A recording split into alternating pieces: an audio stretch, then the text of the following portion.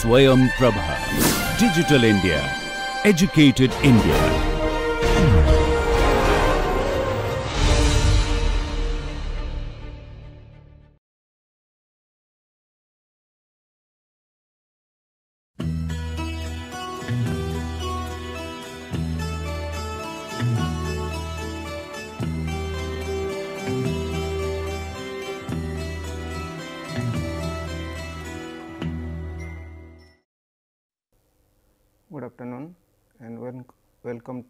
NPTEL project on econometric modeling. This is Rudra Pradhan here. Today we will discuss the structure of econometric modeling. So, before we know about structure of econometric modeling, it is better to know its agenda. So, the agenda of econometric modeling is to enter into future. So, that means it is all about forecasting. Forecasting is a process of entering into future by using past and present information that is with respect to econometric inputs and econometric outputs. Econometric inputs includes the theory basic theory, the problems, mathematical theory, statistical theory, information what we call data, stat, uh, statistical tools like softwares, computing methodology and knowledge, interpretation etc. In the output sides, so it includes estimations, inference, forecasting, evaluations and assessment. So, now, so forecasting is all about to integrate the econometric inputs and econometric outputs. So, now, so how we have to do all these things? So, it is basically basically the question of entering into the futures or future development. So, future development basically function of past informations and present informations. Okay. So, now, so it is the question of solving complex problem into simplex problems. Now, the question is how. So, there are there are various ways we have to do. There are many you can say criteria you have to uh, you have to de designs. So, now I will give you the indication how econometric model can help to solve this particular uh, you can say uh, issue. So, econometry modeling basically based on certain steps through which we can solve any particular problems. So, now the structure of econometric modeling starts with the, the problem statement. Okay. So, the step 1 step 1 process is problem statement. Okay which basically derives from existing theory. Okay, so, problem statement we have to derive from theory. Then step 2, in the step 2 we have to transfer the problem into mathematical form of the models, mathematical form of the form of the model. Okay. So, now what is all about mathematical form of the model? It is just the transformation of raw information into certain mathematical equations. Okay. So, it is the theoretical uh, uh, transformation of theoretical information into quantitative informations. So, basically it is an indication of deterministic models, it is an indication of deterministic model. Okay.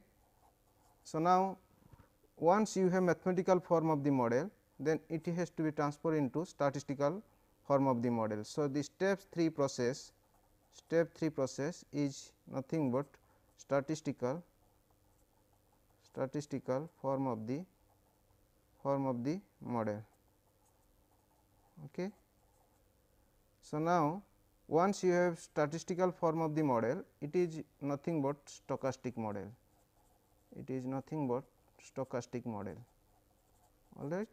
So, now we move to step 4. The step 4 process is that you need to have informations which we call it data.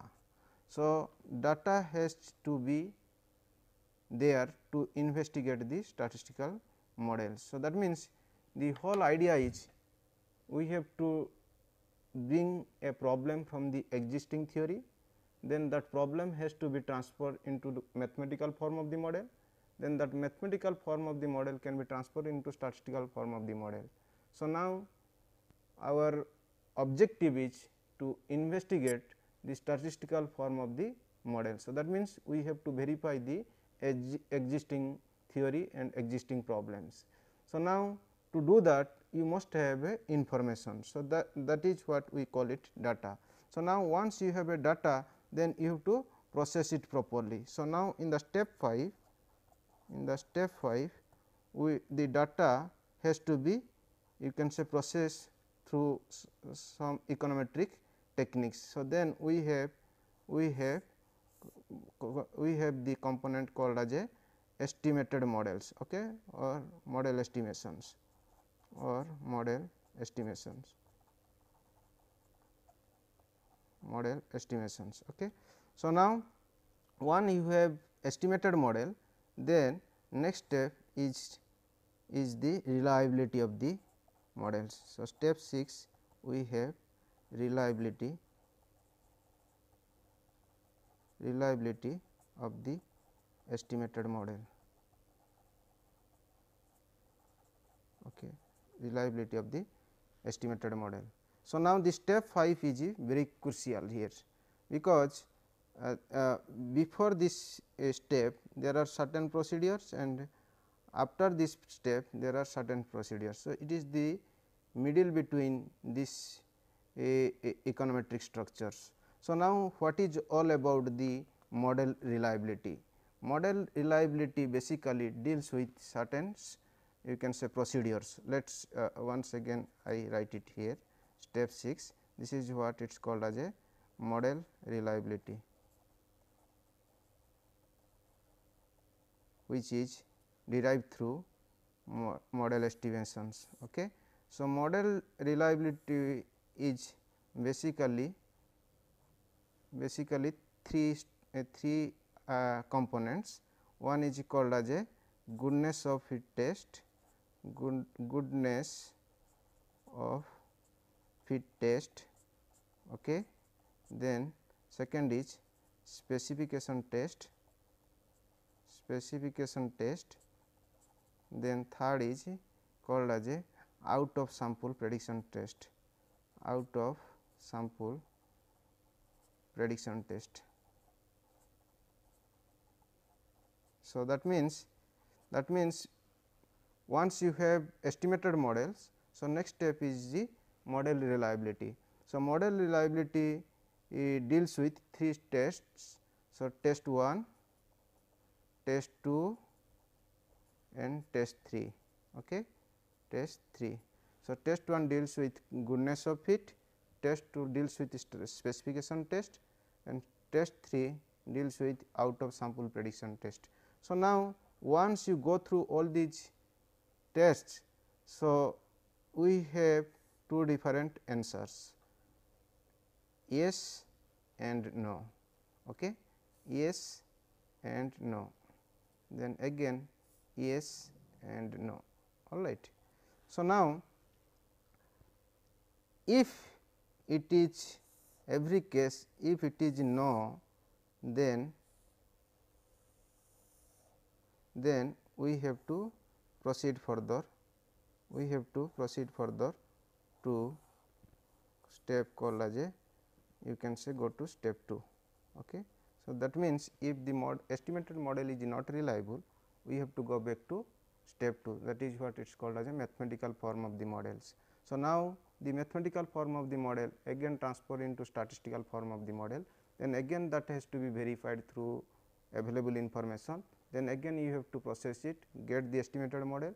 Then again you have to go for reliability check again you have to continue with yes no situation then if again no you have to go back to again step 2 however if it is yes, if it is yes, then you have to proceed to step 7. So, every times if it is yes, yes, yes, then you have to go for step 7, you have to go to step 7. So, now the question is what is step 7? So, let me explain here what is step 7 here. So, now the model step 6 here, step 6 this is model reliability, model reliability. So, now this is this is test 1, this is test 2, this is test 3, this is nothing but goodness of fit test, this is nothing but specification test and this is out of sample prediction test. So, obviously, it is no situation yes situation, obviously, it is no situation and yes situation, obviously, it is no situation and yes situation. So, now when uh, every test gives no no no then obviously, we have to go to step 6 uh, steps 2. So, now if it is yes if it is yes if it is yes okay? So then you have to go for step 7 so now this will give you step 7 overview okay? So what is step 7 so now step 7 is basically deal with the interpretations interpretation of the existing estimated models so now once you interpret then next step you have to proceed for uh, hypothesis testing. Hypothesis hypothesis testings okay? Hypothesis testings. Right this is step 8 step 8 information is hypothesis testing. So now this is what we have to derive from you can say specification test okay so now so far as interpretation is concerned we have to go for hypothesis testings. Then we have to move to step 9 step 9 step 9 is nothing but forecasting. Step 9 is nothing but forecasting. So now this forecasting forecasting has to be go to step 10 so now the step 10 process is go for future future development future development which is otherwise called as a policy use. Okay. This is what the complete process of econometric structures. So, basically economic structure starts with the existing theory. Within that theory, we have to find out the problem. That problem has to transfer into mathematical form of the models then mathematical form of the model has to be transferred to statistical form of the model. Then our objective is to investigate that theory through proper econometric tools. So, now to verify that theory or to apply that econometric mo uh, model for that problems. So, we need we need informations. So, now once you have information you get the estimated models. So, now that estimated model has to be checked that is nothing but reliability part. So, reliability part is basically a three specifications that is you know three different tests. So, one is called as a goodness of fit test, specification test, then out of sample prediction test. So, now every test will give yes no results. So, now if it is a no answer is no then we have to go to step 2 again. So, that is nothing but mathematical form of the model again this system will continue like statistical form of the model data then estimated model then again you have to go for reliability check. So, again you, you have answers yes no. So, if it is again no then again you have to go to step 2. So, now uh, if it is yes then you have to interpret the estimated models. So, the moment you will interpret the uh, interpret the estimated model. So, you have to uh, go for hypothesis testing which which we have basically derived through existing statement or problems. what is all about uh, hypothesis? Hypothesis basically it is a statement which is not verified which has to be verified.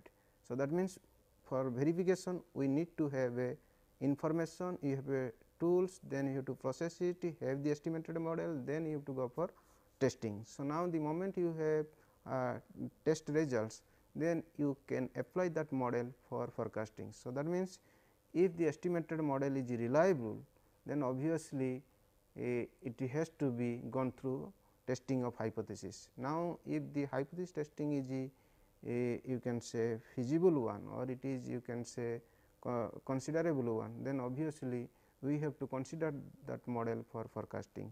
So, now once you have forecasting then it will give you the direction or path for future development. So, that means that model can be utilized for any policy policy use. So, this is what the complete st structure of you can say econometric model. Let me let me uh, explain the details with a very beautiful examples. Let us take a case of it is a case study. So, now the case study is a museum. The museum it is running in loss, the museum is running in loss and your assignment is to transfer this loss making unit to profit making unit. So, this is the typical problem which we have received from from a particular department.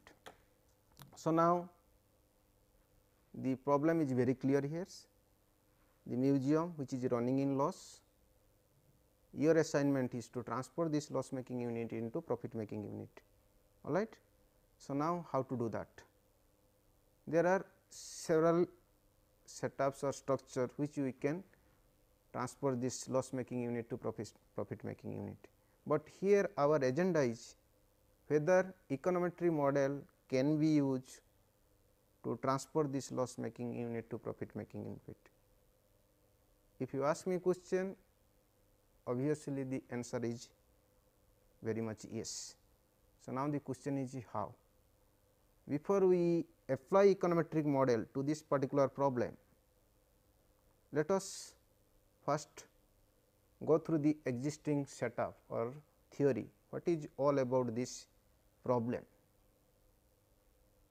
the problem is that for any particular business, the status of business depends upon its profit and loss account. Okay. So, the status of a particular business depends upon profit and loss account all right. So, now profit and loss usually represents the indicator of or performance of a business. So, in business environment profit is represented as the component called as a phi. Okay. So, phi is the value which can determine the position of the business. So, whether it is profit shape or loss shapes. This phi has a three different structures. One is called as a phi greater than 0, phi less than 0 equal to 0 and phi less than 0. Okay. So, now if phi greater than 0 this business term is called as a supernormal profit. Okay. So, now if phi equal to 0 it will give indication normal profit. Okay. It will give indication to normal profit. If it is less than 0 it will give indication to loss. Okay. So, now so what is supernormal profit, what is normal profit and what is loss. So, let me uh, first highlight what is phi. Phi is the profit function which basically depends upon two components. One is called as a R component, another is called as a C component. R represents revenue and C represent cost. So, that means the problem is very clear here. We like to know what is the shape of this particular business. The shape of particular business depends upon profit function and profit of a particular business unit depends upon its earnings which we call it revenue and its cost which we call it expenditures. So, now the difference between earnings and expenditure will give you the shape of the business. So, now one side we have revenue another side we have cost. So, now the difference will give you indication about the size of profit r minus c. So, r minus c will give you indication about the shape of the profit. So, now if you will say supernormal profit then it is nothing but r minus c r minus c should be greater than 0. Now, for normal profit the structure of r minus c must be equal to 0 and uh, for uh, uh, for this loss situation this r minus c must be less than 0. So, now if r minus c greater than 0, so it is an indication that r should be greater than c. Now, if r minus c less equal to 0, then it is nothing but r equal to c. So, now for this it is an indication of r must be less than c all right. So, now the question is what is r? r is basically r is basically revenue and it depends upon it depends upon two components price component and quantity components. That means, P represents price of this business or product then Q represents quantity of this particular business. Okay. So, this is the entire structure of you can say profit and loss account of this particular business. So, now for this particular problem now for this particular problems we are in the position of phi less than 0. So, now when we see the loss making organization or loss making business then obviously phi is less than 0. So, that means the existing problem that means the existing problem is pi less than 0, but our assignment is to transfer this existing problem into profit safe. So, that means, we need to transfer pi should be greater than equal to 0, pi should be greater than to 0. That means, so what is pi here? Now, phi greater than 0 means we must have revenue and we must have cost. So, that means, the transformation rule should be r greater than equal to c. So, now how to do that?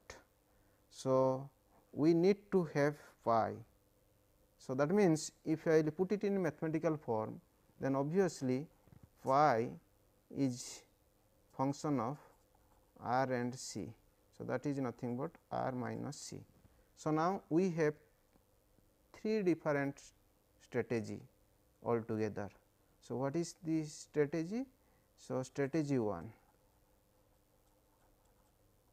So, now strategy 1 pi can increase means pi increase depends upon various strategy. Strategy 1 first r will increase provided c remain constant. Okay. Then strategy 2 r can be constant provided c must be decrease. Okay. So, now strategy 3 where r can be increased in the same time c can be also increased, but r increase must be greater than to c increase. Okay. So, we have three different strategy altogether to transfer this loss making unit to profit making unit.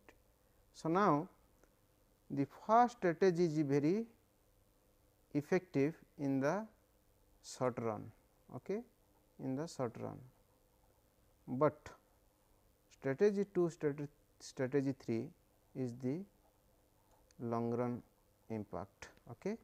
So, now in the meantime for this particular problem we have to take one strategy. Let us start with the strategy 1. Okay. What is strategy 1? Strategy 1 is y has to be increased provided r has to be increased and c has to be constant. So, now what is all about R increase?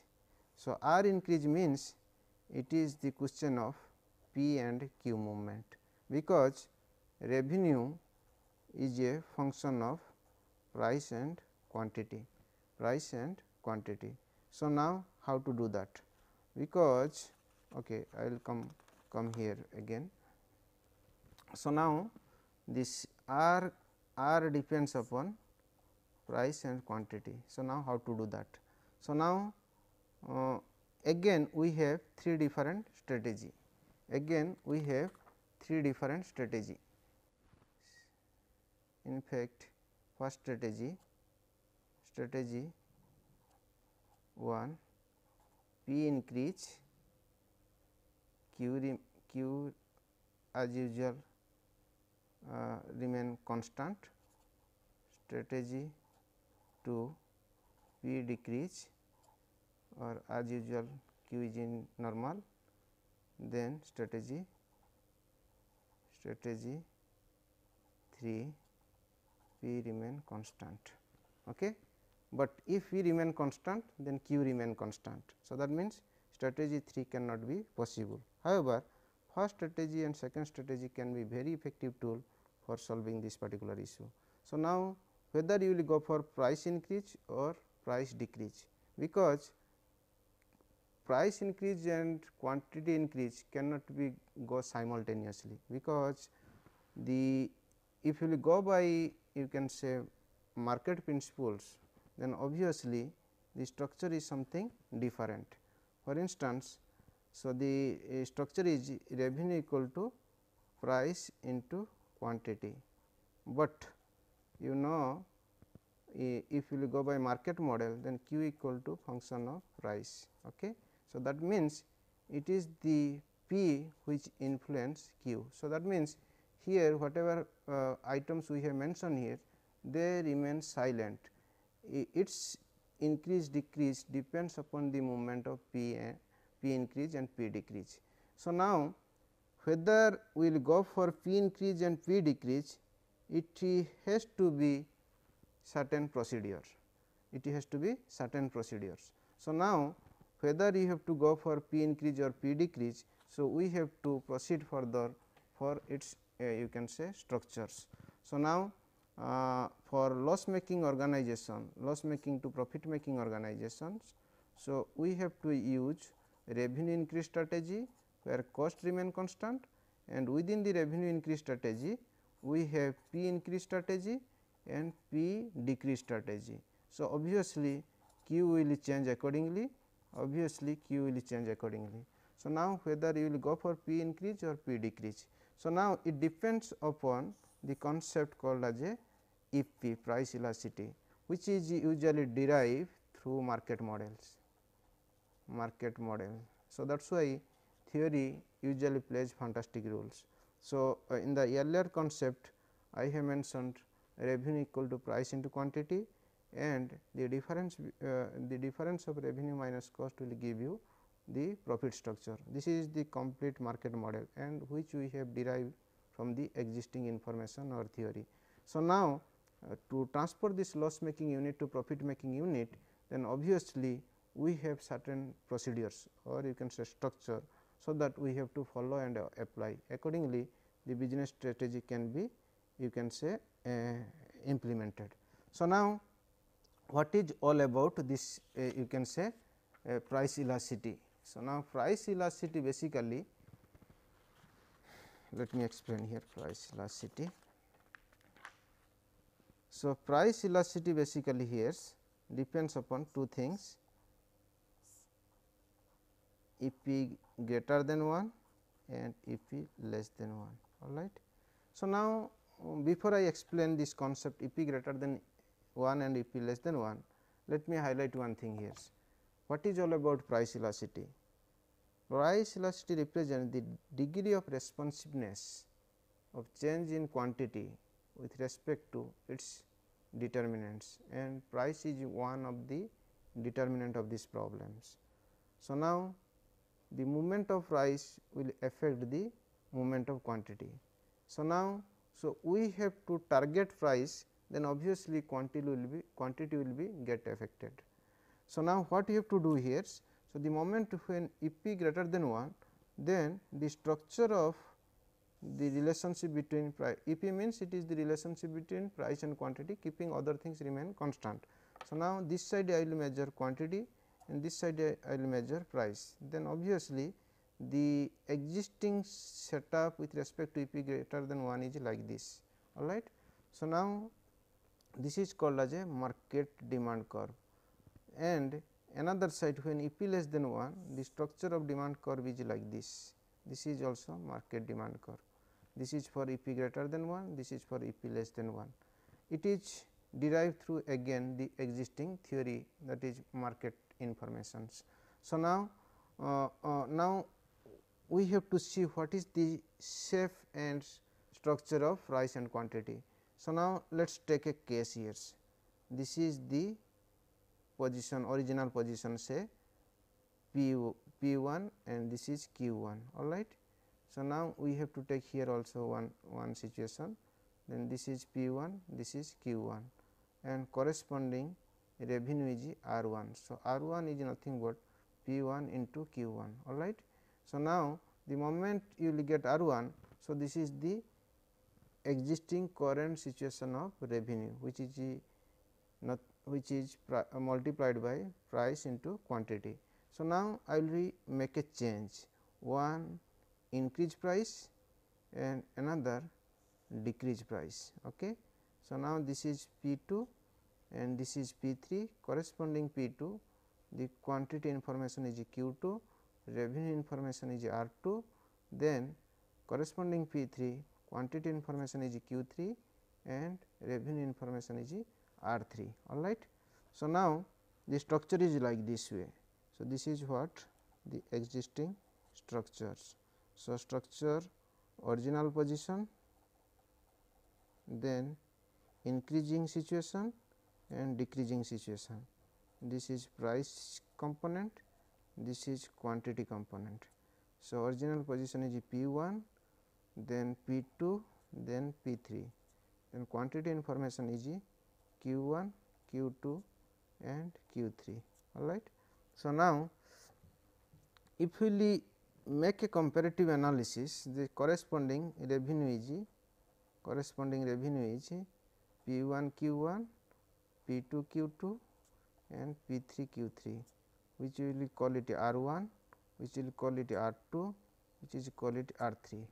So, now if we make a look here then obviously, the conclusion is that if we order it properly with respect to ascending and descending then obviously, R 3 is greater than to R 2 greater than to R 1 all right.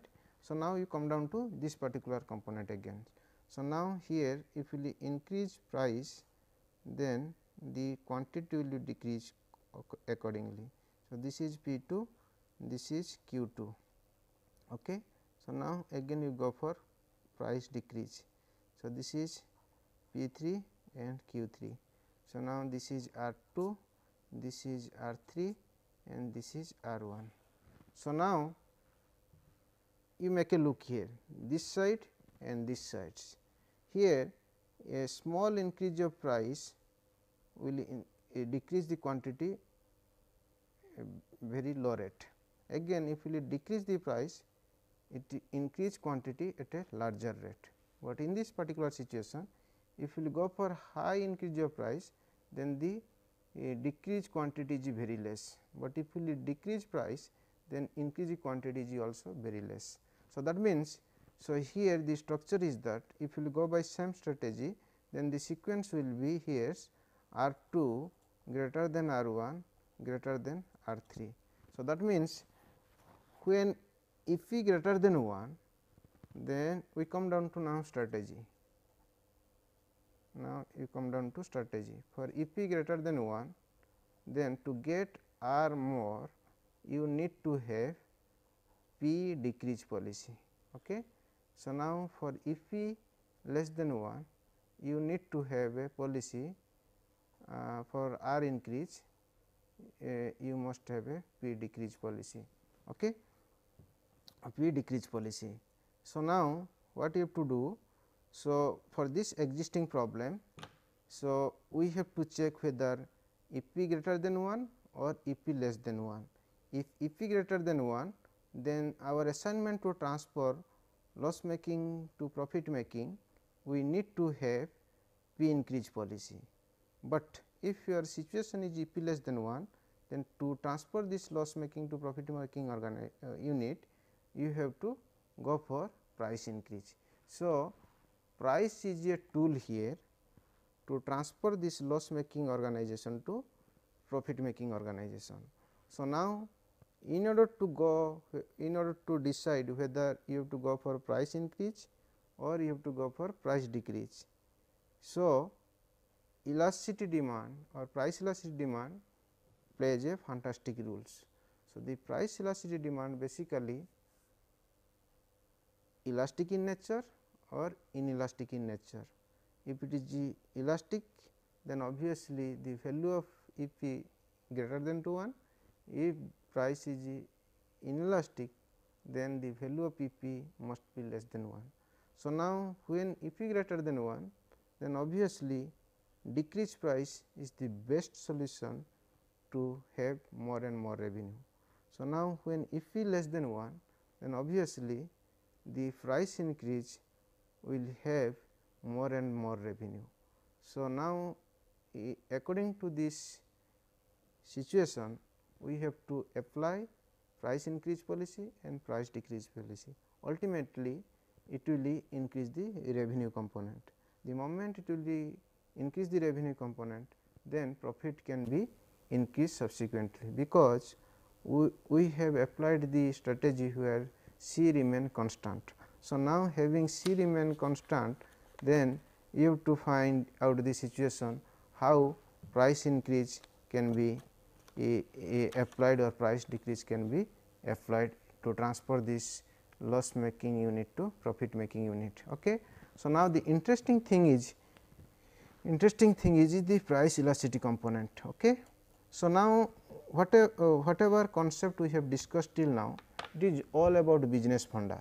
So, that means we have identified the problem the problem is that it is a loss making unit and we have to transfer into profit making unit. This is the simple problem very straightforward, but how to do that? So, for that we need need to have a complete information that is nothing but the market information, the problem information, the existing theory, existing setup. So, what we have done? So, we just uh, collect the information. So, what is all about this loss and profit funda? So, the loss profit funda depends upon the pi value which depends upon revenue cost structures. So, now pi can be increased depending upon the movement of R and C. Since it is a loss making organization then obviously, R is less than to C. So, our task is to have more R with respect to C. So, for that we have to know the price and quantity structures. So, now is principle is very simple because R depends upon P and Q, but P Q has a mathematical relationship because we have a market theory. So, the relationship between P Q depends upon the uh, structures. So, the relationship between P and Q is like this. So, every time this Q is a function of function of V. So, that means to have to have more and more revenue. So, P has to be instrumental. So, now either P can increase or P can decrease depending upon the situation of price elasticity. So, now the question is what is all about this price elasticity? I have already explained the physical interpretation. It is simply represented as the degree of responsiveness of change in quantity demand with respect to its price. So, now if I will put it in mathematical note then it is nothing but p by q dq by dp. So, now this is what we call it simply mathematics. So, now how to get this value here how to get this value whether E p greater than 1 or E p less than 1. Theoretically we explain if it is E p greater than 1 what is the situation what should be done and if we if if E p is less than 1 what is this situation and what has to be done. But the question is how to know whether uh, if greater than 1 or if less than 1. For that we have to again go for this existing market uh, theory. So, market information or market model will give you information about the price elasticity. So, now depending upon the calculated value of E p we can get a conclusion or we can get a solutions for this particular problem. So, now the existing theory is that q is every time function of p, but it is in implicit format. If you put it in explicit format then q is nothing but represented as a, a, a okay, it is nothing but function of uh, p and which is nothing but a minus b p say. Okay. So, p is every time positive, q is every time positive because price of a particular product cannot be 0, cannot be negative. So, quantity of a particular product cannot be 0, cannot be negative. If it is 0 then that means there is no business at all. So, obviously, price must be positive and quantity must be positive. So, now with this particular equation q equal to a minus b p so, there are two indicators here A and B. So, these are called as a parameters. These are called as a parameters. Okay. A, B are parameters and Q, P are price and quantity. So, now for this particular problem you must have you must have Q information and you must have a P informations, but you may not have A information you may not have a B information. So, now econometric modeling plays a role here it is it plays very very classic role. So, what is that now here econometric model is applied to know the value of these two parameters that is A and B. So, that means once you get to know what is A and what is B then you can get to know what is the value of E p only because the existing problem will give you information like this. For every p there is a q. For instance, if p g 1, p g 2, p g 3, p 4, p 5, p 6 then corresponding p and obviously, you must have a q information, you have q information, you have q information, you have q information, you have q information and you have q information. So, now corresponding p you have q information. So, now so, P is there, Q is there, but A minus B Is not with you. So, we have to first know what is A value, what is B value. For instance, if let us say uh, P equal to 1, then you cannot get Q, because we have no idea about A and B. So, if I write the equation say Q equal to 30 minus 20 P then obviously if p equal to 1 then we can able to calculate q, q. if p equal to 2 we can able to calculate the value of q. So, now the question is what is a, and what is b? For this equation a can be 30 and b can be 20, but you cannot arbitrarily fix this value 30 and 20 it has to be obtained certain process and certain structure. And to have that accurate value of A and B econometric model is means usually play plays very very very fantastic rules.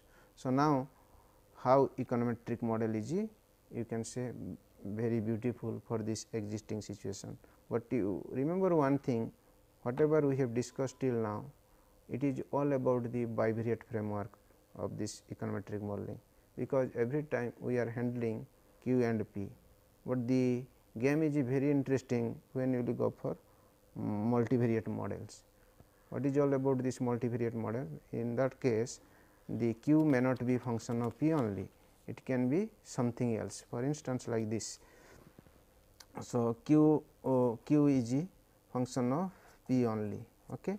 So, now q can be function of so many other other components p advertising of that particular product or you can say for this museum uh, museum problem if people uh, have no idea about that uh, museum then people may not come forward because museums business depends upon how many customers are entering to that museum. So, obviously, you need to have you can say awareness. So, you have to create awareness among the peoples. So, that is why advertisement plays a fantastic role population of that city also another factor which can influence the quantity factor, then policy of that particular area also for instance, if there is a hardcore policy or there is some external factor like terrorist attack or something else, then obviously that factor also have a impact on quantity. For instance, take a case of uh, you can say northeast states like you can say Assam, Arunachal Pradesh etc. and you take another case Jammu Kashmir. So, uh, the tourist of a particular place depends upon the economic environment there, business environment there, political environment there. If these factors are not stable, not positive or you can say not in a positive shape, then obviously the quantity of the means the customer to that to tourist area will be very less. So, only the pricing of that particular product or particular service may not be one criteria, but it depends upon so many other criteria. That means, when you will go for long run strategy to transfer this loss making unit to profit making unit, then obviously, you have to apply multivariate models, but we have to start with the first bivariate then you will integrate with the multivariate models all right.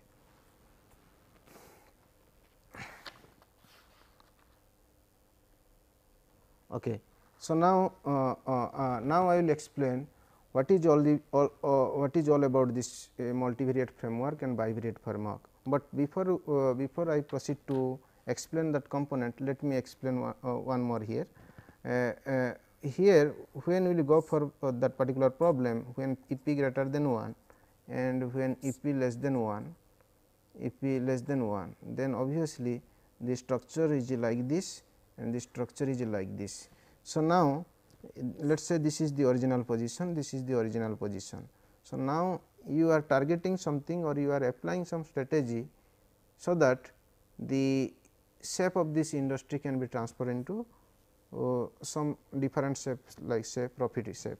So, now for that you need to go for price increase or you can say price decrease, but one thing you remember here so, we are moving in this particular curve only. So, that means only price which can influence this quantity, but this is nothing but simply this is P, P you can say q 1, this is q 2, this is q 3, this is p 1, this is p 2, this is p 3. But when you will apply uh, this is very correct when you will apply q simply as a function of p only, but when you will apply q is a function of other factors then obviously your profit of that particular business depends upon the movement of this particular market demand curve. So, that will increase to this sides. Okay. So, this side also increase to this side. So, obviously, this has a large impact on this organization. So, the loss making concept or organization can be transferred into profit making organization. All right. So, before I go to uh, explain detail about econometric modeling, let me explain the entire structure of the data analysis. Okay. The structure of data analysis. Because I have already discussed what is the standard structure of uh, you can say econometric modeling. So, the standard procedure is you have to start with the theory, then you identify the problem, transpose the problem into mathematical form, then statistical form, you must have information, you process the information by applying some tools and techniques, then you get the estimated model. After having the estimated model, you have to go for reliability check. If the reliable uh, estimated model is a reliable one, then you have to go for you can say uh, uh, uh uh, you have to interpret that model, go for hypothesis testing, forecasting then its future use or you can say policy use. So, now the issue is what is the entire structure of econometric modeling. The structure of econometric modeling is a part and parcel of you can say statistical modeling. So, statistical modeling again is a vast concept and econometric modeling is a part of that. So, now I will highlight here first what is the entire structure of statistical modeling, then we will bring the concept or structure of econometric modeling. So, data analysis basically divided into three parts. Data analysis basically divided into three parts. First part is called as a univariate data modeling, univariate data modeling. Then bivariate data modeling. Then multivariate multivariate data modeling. Okay. So, we have univariate data modeling, we have bivariate data modeling and we have multivariate data modeling. Okay. So, now what is univariate modeling, what is bivariate modeling and what is multivariate modeling. Univariate modeling means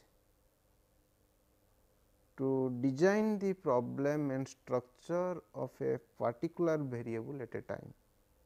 So, now your game boundary is very very simple and very easy, because it is only one variable which can give you the indication and strategy that is what forecasting strategy. So, with one variable you have to play the game. So, this is what it is called as a univariate data modeling. Bivariate data modeling is basically a, it, it is basically two variables games. So, that means only two variables can explain the entire structure. So, that means uh, how one variable will affect the other variable and other variable will affect the first variable. So, multivariable multivariate data modeling is the complete structure of or you can say simultaneous simultaneous structure of all these variables together. So, that means let me take a case here. This is the this is the boundary here.